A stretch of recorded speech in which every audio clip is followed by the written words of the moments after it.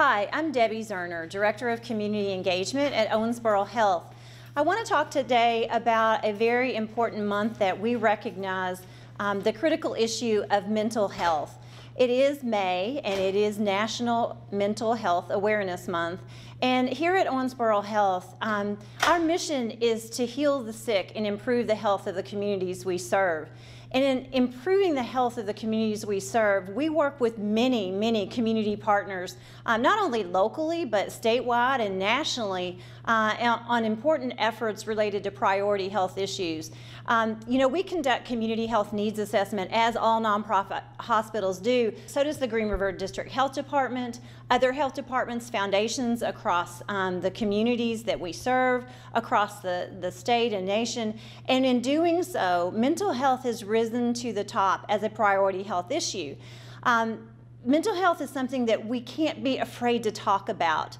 Uh, we serve in, in, our role in working with community partners um, not only as a service provider of behavioral health and mental health services, but as, as a convener for those conversations to take place, as uh, we make investments into our communities to be able to um, have additional resources available um, to address the mental health issues. There's no, there's no surprise and it's no secret that um, mental health resources have been limited in previous years, but that's changing, and, and, we are a part of that, and we're excited to be a part of that. Um, the truth of the matter is, this year's theme for this month is Tools to Thrive.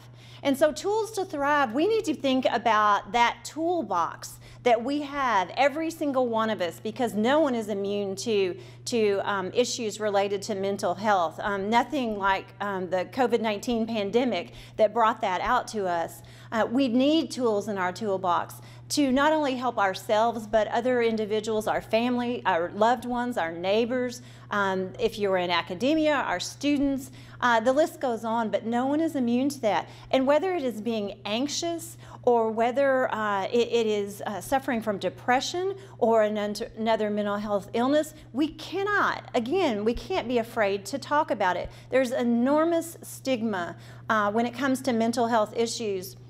And because of that stigma, we tend to suppress those conversations and the dialogue about mental health. What is it? What can we do? What are the resources? And when people are afraid to reach out for help, then um, some really serious consequences can occur. Uh, we don't want that, and it's time to stop that as a community. So what we do at Owensboro Health with our communities is really partner for those dialogue, um, those important conversations to not only increase the number of resources, but to be able to educate on what those resources are uh, for you, for me, for all of our loved ones, for the communities that we serve. We've got to have the conversation. So um, in, in, honor of May, which is National Mental Health Awareness Month, we need to build tools to thrive, and we want to be a partner to that.